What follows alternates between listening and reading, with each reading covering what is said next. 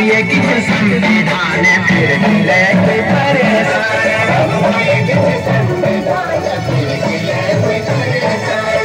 बरोबर हक।